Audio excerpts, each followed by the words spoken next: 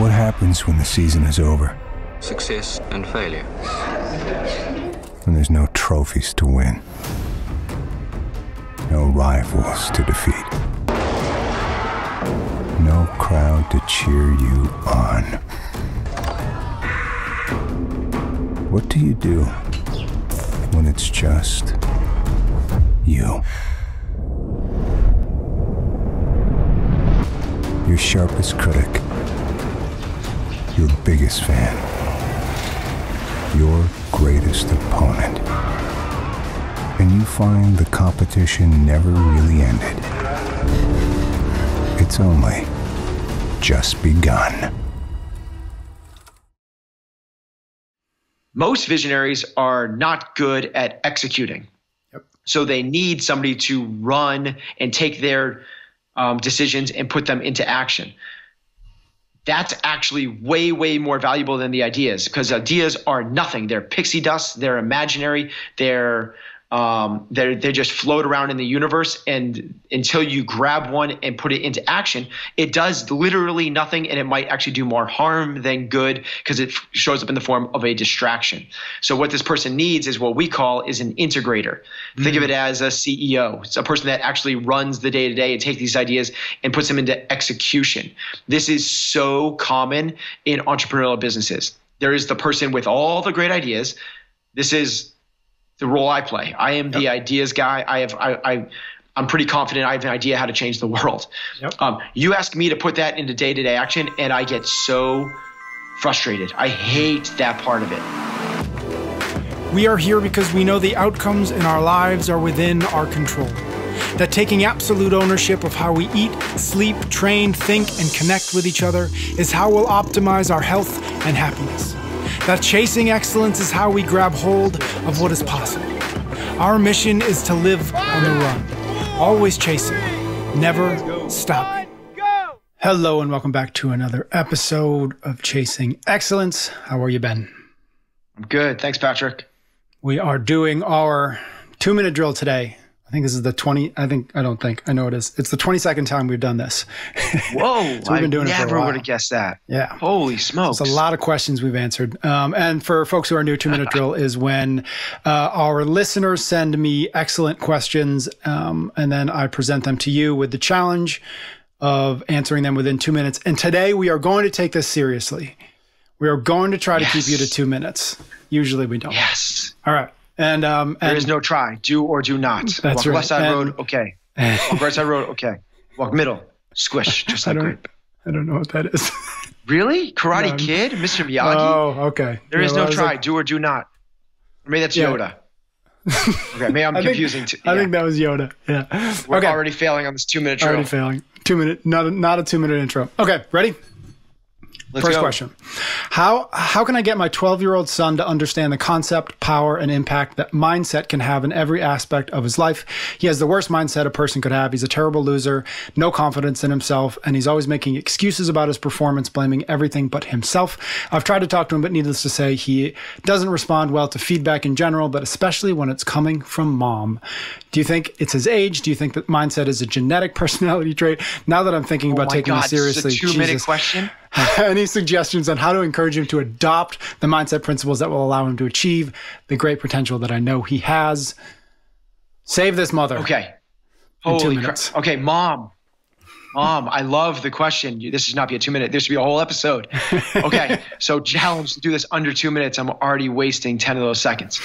Um, stop focusing on your son and focus on yourself. Is it something that's just inherently born? Uh, yes, it is, but not all of it. Most people are born with certain character traits. The other ones are it's nature and nurture.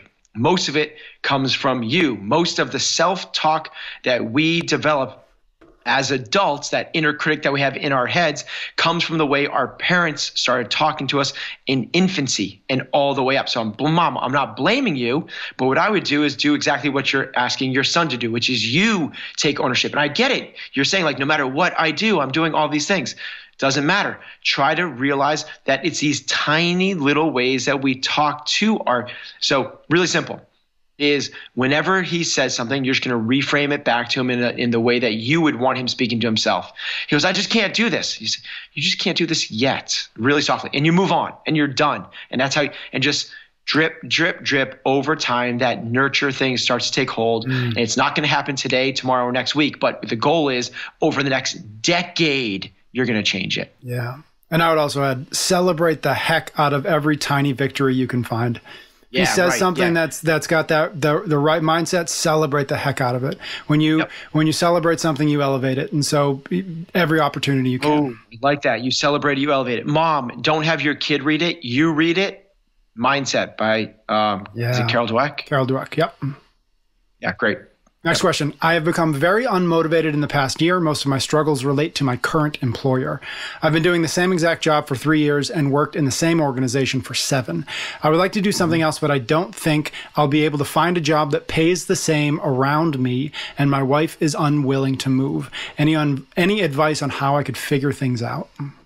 Okay, in under two minutes. First one is really take the deep dive and ask yourself are you really unfulfilled with your job? Or has the last year and the struggles we are all facing the last year exaggerated something that maybe might not be your job, but is something that you're feeling otherwise?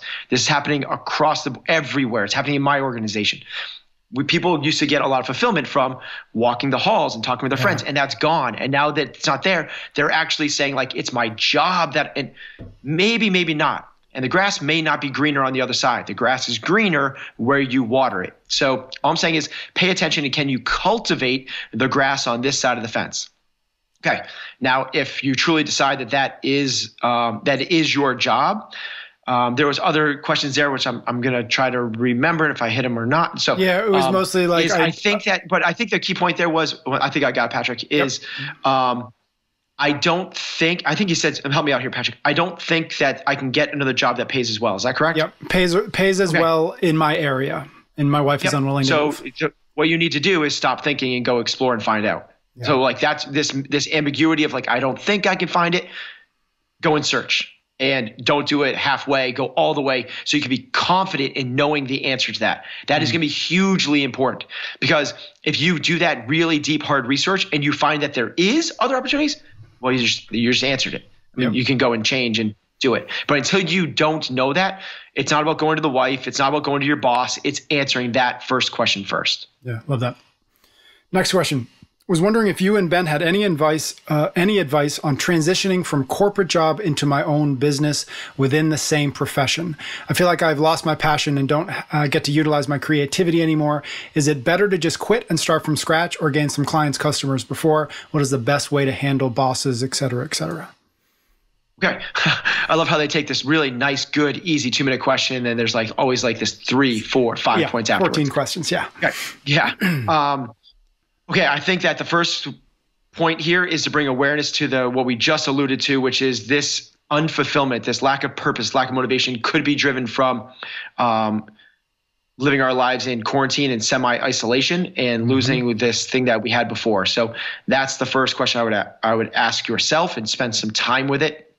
The next one is um, should you quit and jump full speed or um, build clientele? I would suggest the building clientele. Yep. Um, work it as a side hustle first.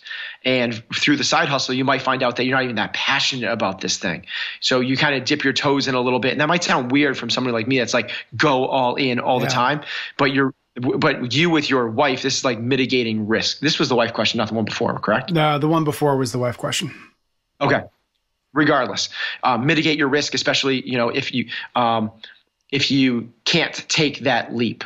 Um, I think that building the side hustle um, nights and weekends is the way to do that. Let's say that you um, are working for somebody else in a, a, personal training studio. You want to open your own personal training studio. Like um, that can be sketchy, and I understand why they're asking about the, the bosses, et cetera.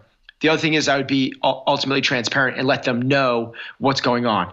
If you feel weird about it, it's weird, and it's, you feel weird because your gut is telling you you're not doing something right. So just do the hard thing and be like, "Hey, uh, boss, I just want to let you know I'm considering opening up my own studio at some point. What are your thoughts on that?" And throw it back in their court and let them direct it. If they're like, well, if that's the case, Um, let me know as soon as you can, and that's your two weeks notice. Then Mm-hmm. okay, you have a lot more clarity on what that looks like. If they go like, hey, no problem, as long as you do it 10 miles away from here, I have no issue with that whatsoever. Okay, a lot of clarity on that. So just don't get away from the ambiguity and the weirdness and the the thing that's kind of like uh, the gut feeling that's messing things up, and um, get have the hard conversation. Dig it. About my I'm dad. just oh, talking really fast now. you are talking faster than usual, but but it is also I think working. So I, I'm I'm Okay. I'm hesitant to to complain. Don't listen to this on one and a half speed.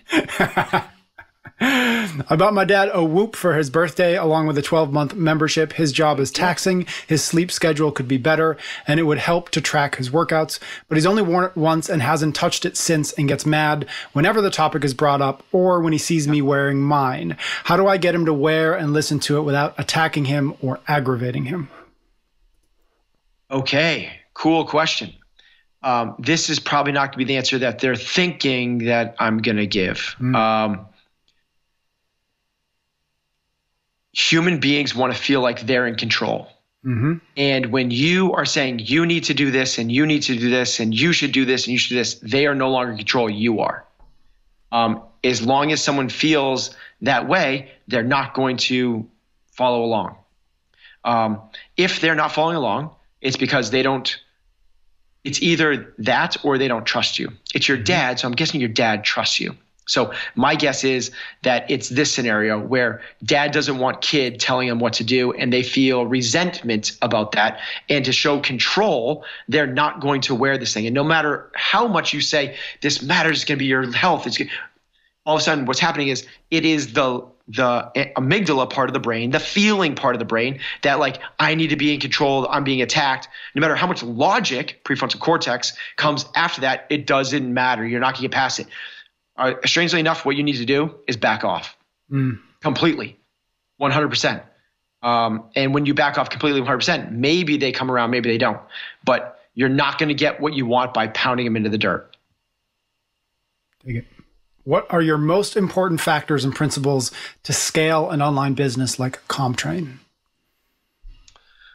Oh, that's a good question. In two minutes, what you've been yeah. what you've been working two on minutes. for How ten did, how do you, years. how'd you build your business and what's your plans going forward?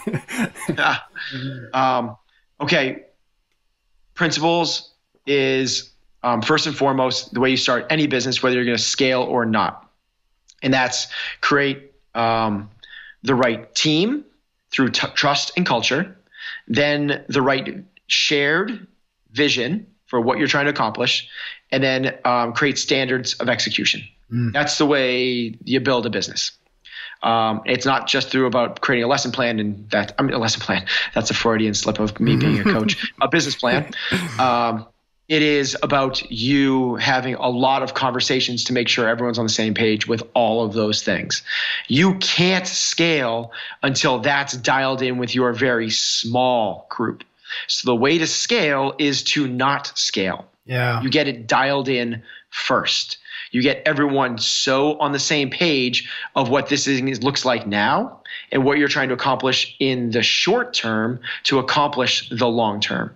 Mm-hmm. And then from there, you do the same thing with your customers and you focus on Joe in Idaho, not to 10,000 users outside your market space. Yep. Yep. Yeah, that's such a great point because when you think about CompTrain, you didn't start by thinking, how can I get, I'm going to make up a number, Right. 50,000 people following this program. You thought, how can I get the seven athletes in my gym to be more competitive? And then you Exactly. practiced and it worked and it worked and you got better and you got better. And as you got better, not worrying about scale, more people started to pay Yeah. attention, right? And then Yeah. you started thinking about scale.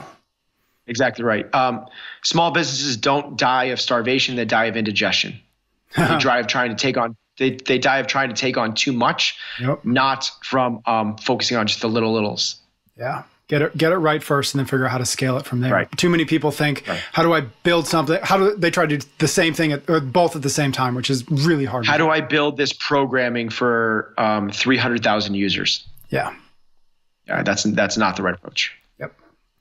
What is uh, oh no, skipping on. What resources do you recommend for a teenager to begin learning about strength training? My nephew wants to start lifting and I would like to give him a good book that isn't too complex but will offer a quality foundation for a young athlete. Yeah, cool. I love it. Good job. uncle or aunt. Um, I would not give them a book. I'm not going to give any teenager a book, you know, especially I, I would give them Instagram handles to follow. Yep. Um, and ones that you feel like, so like, I'll just give, let's just start here. This is a, this is a short answer. Follow, have, tell them to follow Catalyst Athletics. We're done. Yep. Love it. I actually just had, I just actually recommended a book to uh, my cousin who's probably 18, 19. Um, I recommended, um, I don't know if you ever read it, The Naked Warrior by Pavel Satsui. It's an old book. Hmm. He's like a kettlebell guy. Or something like that, right? Yeah, I probably pronounced it poorly, but Yeah. Um, but I remember T, reading that. Yeah, I remember reading that when I first started CrossFit, and it's a lot about it's all body weight movement. It's a lot about um, greasing the groove. But actually, I think that's Yeah. Ooh, Again, what- I- this is um, this was about weightlift. This question was about weightlifting, though. Correct? Yeah, it was about weightlifting, but I, but yeah, yeah. for a teenager, I I think strength training, or it was about strength training. Technically, he wanted to start lifting, but um, I think I think getting a, a solid base of of body weight strength was probably a better idea for for teens. Yep. All right, next question. What's your opinion on hypertrophy training incorporated with CrossFit training? I think it's great. Yeah. Done. Love it. So I I, I do. No, I, think it's, I think it's great. Like what what's like uh, what's hypertrophy training incorporated with CrossFit Yes. training is great. Hypertrophy training for the sake of hypertrophy training is great for ego and aesthetics. Um, possibly good because muscle mass is correlated with increased longevity in life, but that's just about. I don't think that's necessarily about having, you know, um, being 270 pounds and four percent body fat. I think that those studies come from, um, you know, the, the difference of being 205 pounds at 25% body fat or 10% body fat. Um, so, having said that, I love it.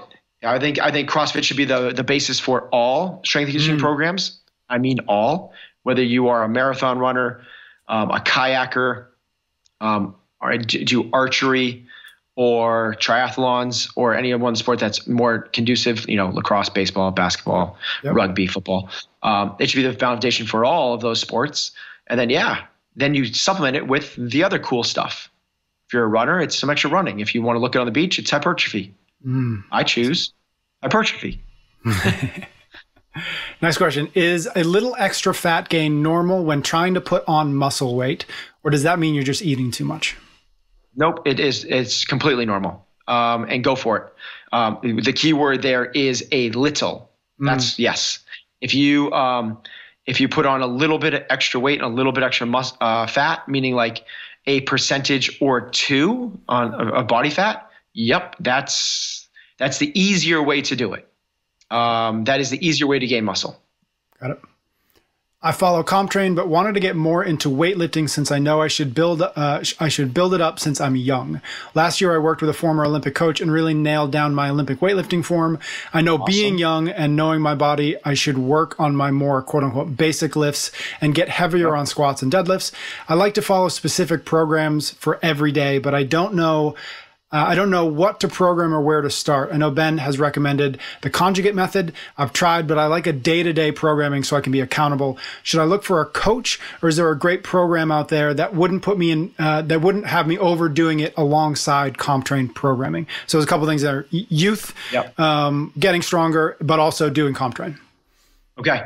Um, so should you find a coach or a program? When in always, if you can find a coach, get a coach. If you can find a coach that you trust and um, it works for financial and um, time schedule reasons, yes, that's the answer. Yes, get a coach. Um, if a coach is unavailable, um, then you need to get a programming. We know this is a um, a big need in um, for a lot of our athletes. I have something exciting coming this summer. Mm, nice. I, I think people can read between the lines of what that is going to be.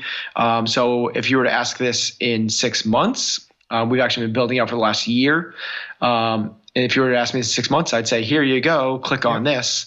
Um, otherwise, for now, I honestly I don't have a good answer, and that's why we're creating something. Love it. Would a games athlete get more benefit from? I like this question. Would a games athlete get more benefit from having you coach them, but use somebody else's programming, or use your programming but work with another coach? Okay, so I'm gonna have to assume that um, um, it's like the the the alternative is subpar, is below average, right? Isn't that kind of what they're asking, or is it like uh, you me working with because that's the way I interpret it. Is it me working with an athlete and they have great programming, Mm-hmm. or me or them following my programming with a great coach? Yeah, that's Which yeah. it is? Um, yeah, I don't know. That's a, And I don't know. I I because I, it change it changes my answer. yeah. Uh, I, I, um, again, I, I default to the coach. I Yep. default to the great coach. Whatever, whatever the alternative is for the great coach. Um, coaching is above programming. That's that's a great answer right there.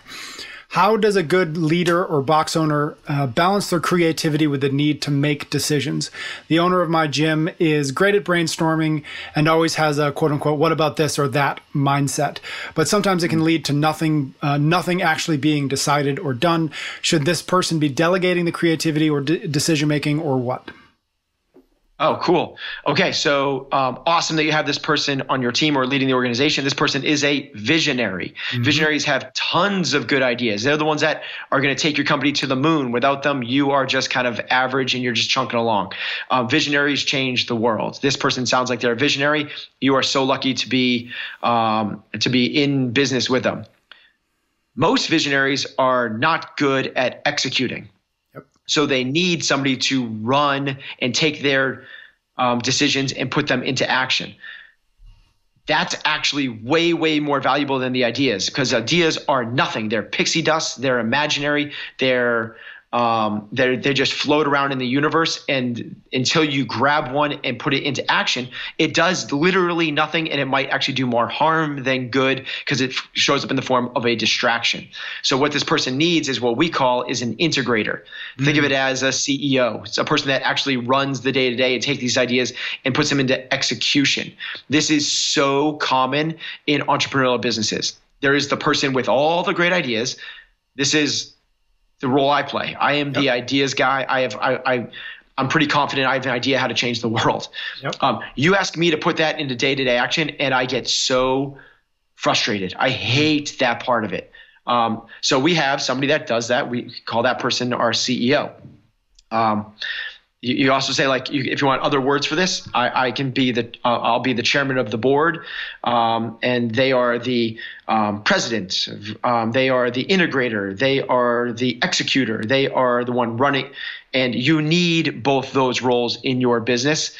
Um, I'm not going to say one is more valuable than the other, but it's super super common um, for early stage startups and entrepreneur businesses for the visionary to play the integrator role, and um, businesses suffer because of it. Yeah. So you need to have somebody, yes, delegate, but you're not delegating the um, the ideas. You are delegating though the decision making, which this person said, which is pretty cool. Yep. The visionary doesn't make the decisions, which is hard for someone like me to swallow. Yeah, yeah. I lay out the ideas, and the other person who has their feet on the ground and a pulse on the business goes, "No, we cannot do that right now."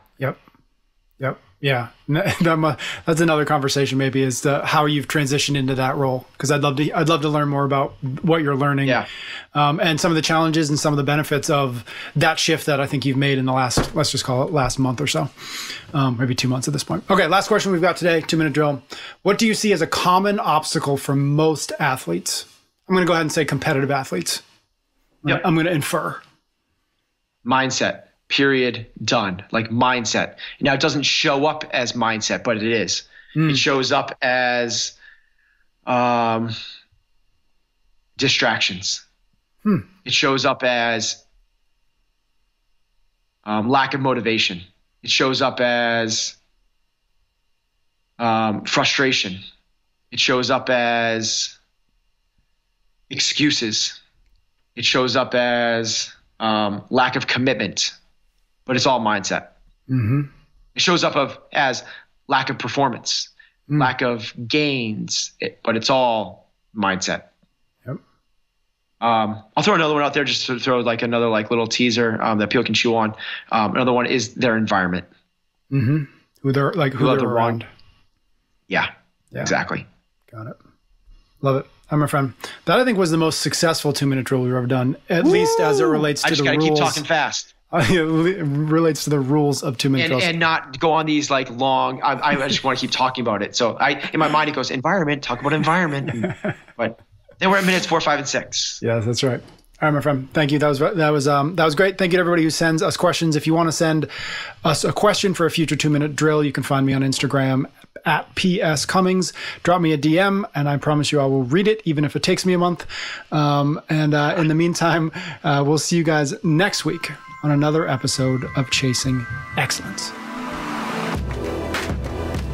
You can get every episode of Chasing Excellence wherever you listen to your podcasts or on YouTube. Until next time, thank you for listening.